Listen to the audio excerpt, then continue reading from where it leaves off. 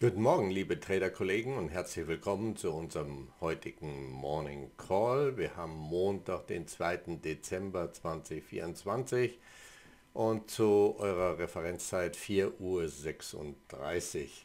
Ja, es hat eine neue Woche begonnen und nicht nur eine neue Woche, auch ein neuer Monat. Es ist der letzte Monat in diesem Jahr. Die Aktivitäten werden ein bisschen runtergefahren, die Weihnachtszeit steht bevor und äh, ja, wie man so schön sagt, die Investmentfonds schließen jetzt schon langsam ihre Bücher, weil wenn man in elf Monaten nicht das Geld verdient hat, warum soll man im zwölften Monat anfangen? Das ist so ein alter Börsenspruch, der sicherlich auch viel Wahrheit in sich trägt. Der wahre Grund ist eigentlich, dass die meisten Händler auf Tantieme bezahlt sind und äh, die wollen sie im letzten Monat nicht verzocken. auf gut Deutsch, weil sie haben das Geld schon einkalkuliert. Gut, ähm, ja, äh, im Fokus steht natürlich, das Wochenende war relativ bewegt. Erstens gab es diese Aussage von Donald Trump, dass ähm, gegen die BRIC-Staaten unter Umständen Zölle in Höhe von 100% erhoben werden. Die BRIC-Staaten, das ist Brasilien, äh, jetzt muss ich nachrechnen, äh, Russland, Indien, äh, China und Südafrika, also South Africa. Äh, das sind die BRIC-Staaten, aber an den BRIC-Staaten hängen auch viele andere Staaten oder ja, so Emerging-Staaten hängen da auch noch mit dran. Also äh, letzten Endes ist es mehr oder weniger das Gegengewicht zur USA auf gut Deutsch und die, ähm, ja, letzten Endes gibt es schon eine sehr starke Bewegung seit Jahren, dass die BRIC-Staaten eine eigene Währung, die auf Gold basiert ist, weil mm, deswegen steigt auch das Gold schon seit Jahren stetig an, weil diese Länder auch immer mehr Gold kaufen, vor allem China und Russland waren die Hauptkäufer in den letzten Jahren. Südafrika braucht das nicht, es hat das eigene.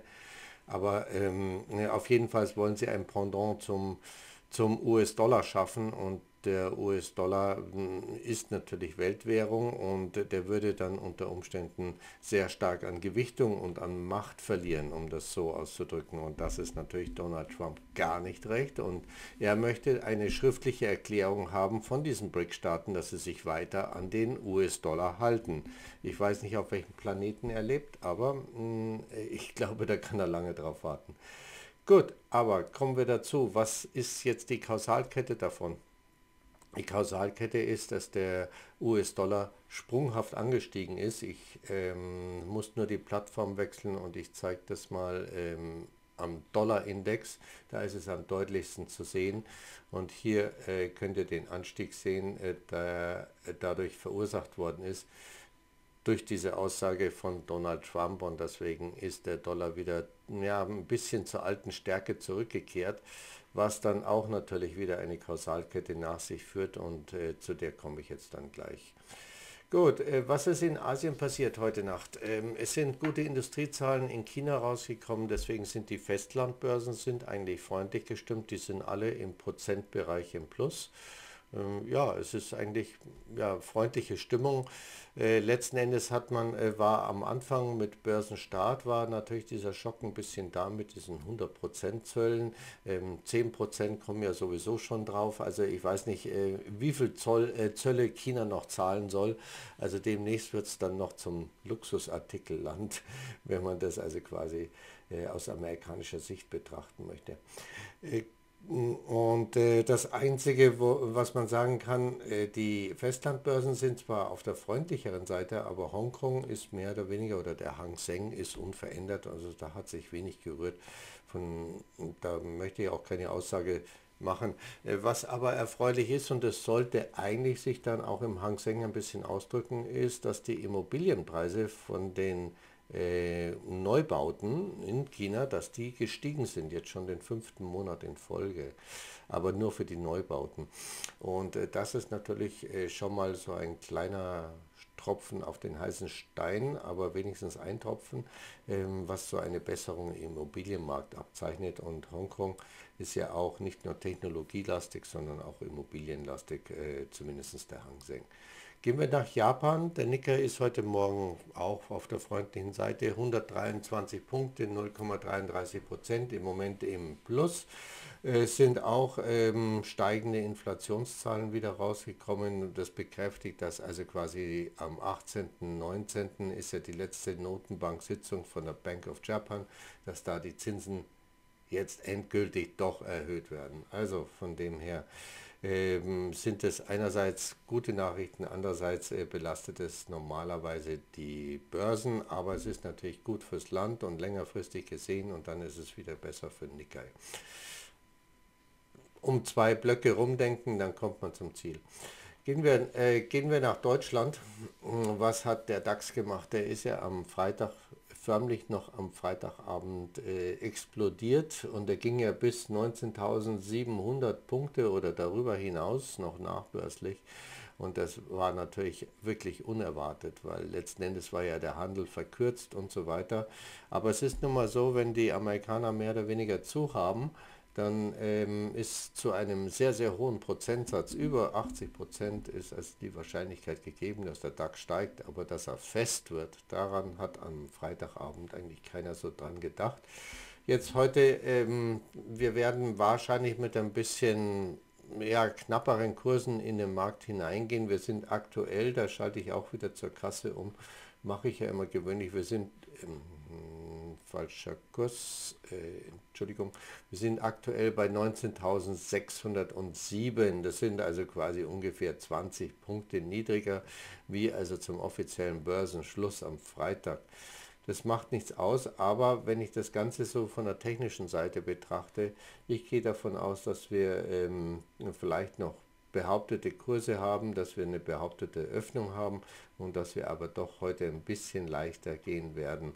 Also ich kann mir nicht vorstellen, dass wir jetzt nach diesem Anstieg nochmal durch die Decke gehen. Ähm, ich glaube, dass da ein paar Gewinnmitnahmen da sein werden.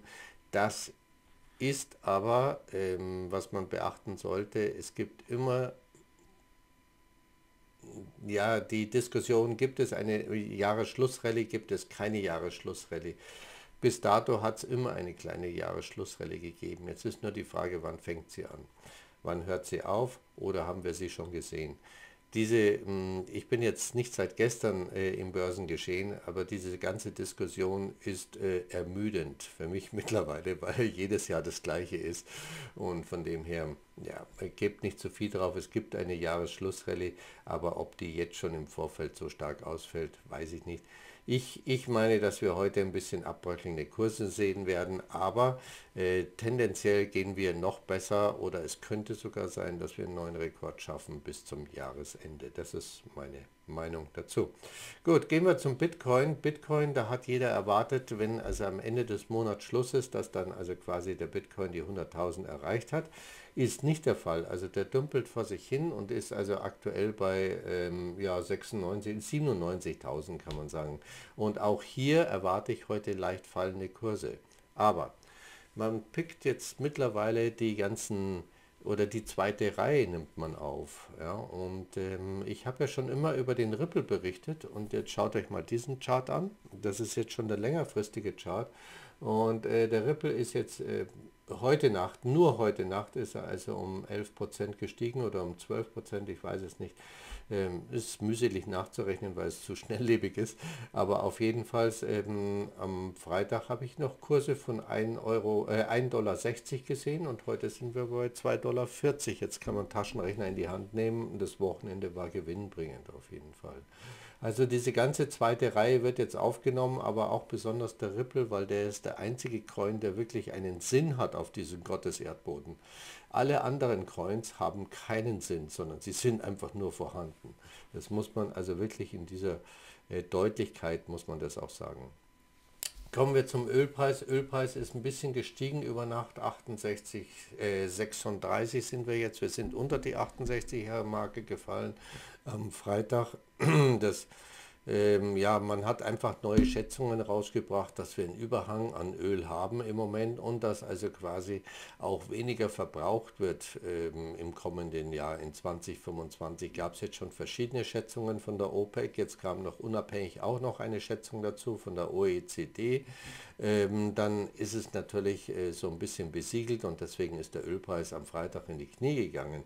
Aber jetzt durch die guten Industriezahlen, Industrieproduktion plus in China, ist wieder neue Hoffnung entstanden, dass also quasi der Ölverbrauch wieder steigen könnte.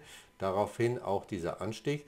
Noch dazu wäre am Sonntag in Wien die Notenbank-Sitzung, äh, die Notenbank, die OPEC-Sitzung plus gewesen, äh, um also weitere Förderkürzungen zu beratschlagen und so weiter. Diese Sitzung ist jetzt auf Donnerstag verschoben worden und man geht jetzt wirklich davon aus, dass also die Fördermenge drastisch reduziert wird, weil für die OPEC-Länder ist der Ölpreis im Moment zu niedrig. Die brauchen auch viel Geld, wollen ja auch Fußballstadien bauen etc. und so weiter. Auf jeden Fall äh, sehe ich hier ein bisschen höhere Kurse heute. Es könnte gut sein, dass wir wieder in den 69 Dollar Bereich also hineinrutschen, aber ansonsten ähm, ja, ist jetzt von der geopolitischen Lage, ist, hat sich nichts verändert und von dem her könnte immer wieder, wenn schlechte Nachrichten kommen, also ein schneller Ausbruch auf der Oberseite erfolgen.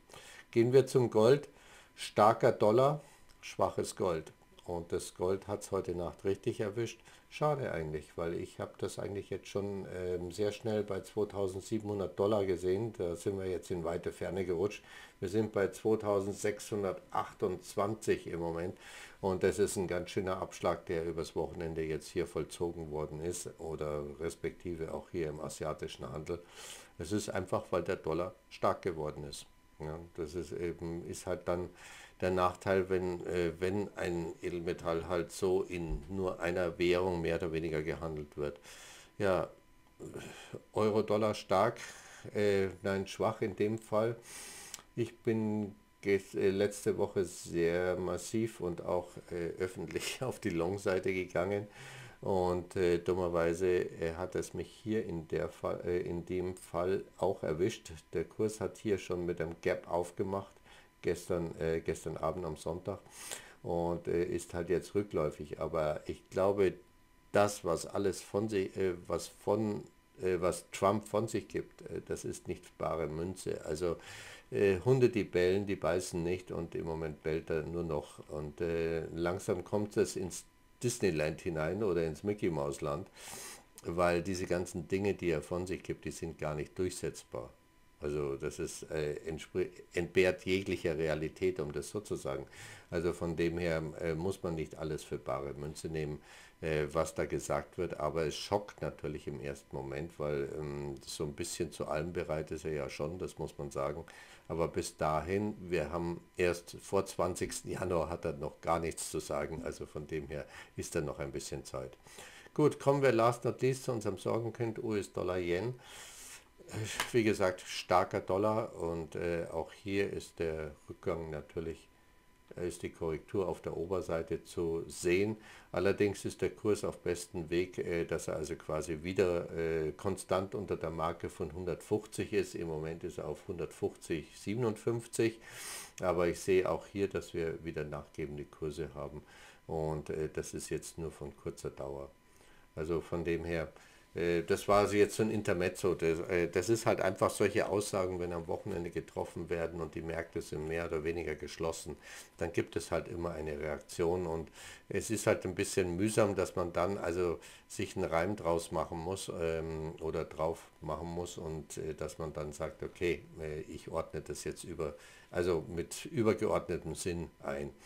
Gut, ähm, ich wollte euch noch anbieten, falls ihr mal Fragen habt oder wie auch immer, ihr wollt auf mich zukommen, hier meine direkte Anschrift äh, info at forex-sun.com und da könnt ihr mich immer erreichen und äh, ich komme, natürlich antworte ich so schnell ich kann, bin ja auch ein beschäftigter Mann und äh, von dem her ähm, kann es schon mal vielleicht ein paar Stunden dauern.